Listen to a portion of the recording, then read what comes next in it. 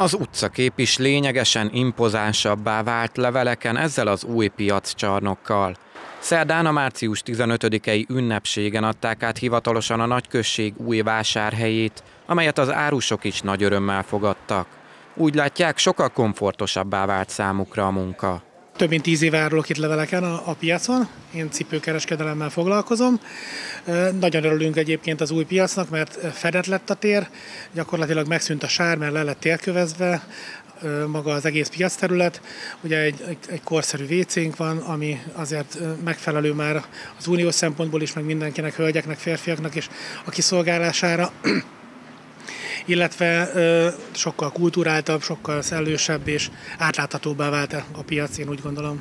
Az új 600 négyzetméteres fedett piac hétfőtől szombatig tart nyitva, a hétvégi nap számít a főnapnak, amikor is gyakorlatilag mind a 64 árusítóasztal megtelik. Ilyenkor akár egy nagy áruházban az élelmiszerek és ruházati termékek mellett szinte minden háztartási eszköz beszerezhető. A leveleki önkormányzat 85 millió forintos támogatásból valósította meg a beruházást. Én úgy gondolom, hogy egy igen jelentős infrastruktúrális fejlesztés ez leveleken.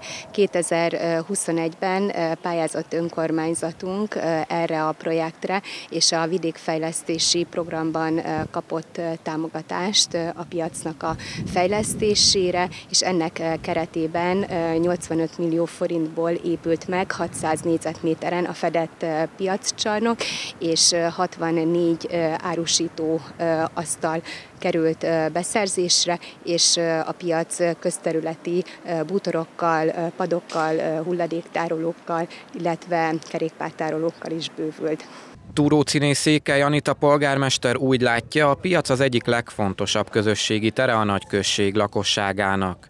Az új létesítmény pedig a település népesség megtartó erejét is növelheti. Én bízom benne, hogy közösségi térként és gazdasági helyként is egyaránt fogja szolgálni mind a település lakosságát, illetve a térség lakosságát is. Hozzájárul a település és a térség gazdasági fejlődéséhez, egy picit a vidéki élet jobbátételéhez, és hát azt gondolom, hogy a település képe is jelentősen javult a beruházás kapcsán. A település vezető hozzátette, leveleken további három jelentős beruházás valósul meg a közeljövőben.